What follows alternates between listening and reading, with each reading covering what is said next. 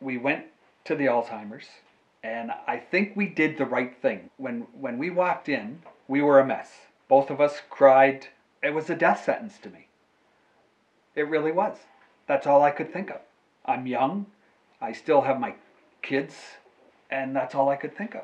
I, I wasn't so much afraid of dying, but I just didn't want it to happen then. You know what I mean? I wanted to to just just to have the time with my family. That was my biggest thing.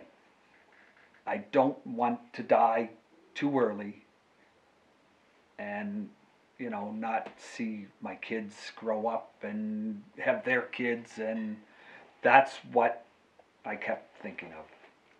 You don't dream anymore. You don't have a future anymore. You know, your life it's not that it's stopped, but you can't plan. You there is no future anymore. You live very close to this time like I we were big travelers and and things like that. Well, I can't book a trip next year. I don't know where we'll be next year.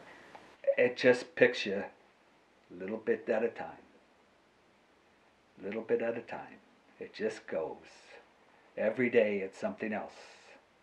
It's the time that I have. I, uh, so I'm going to use that time uh, and I'm going to use it productively because what else are you going to do? I could sit here and, and cry all day long, every day. What's that going to do?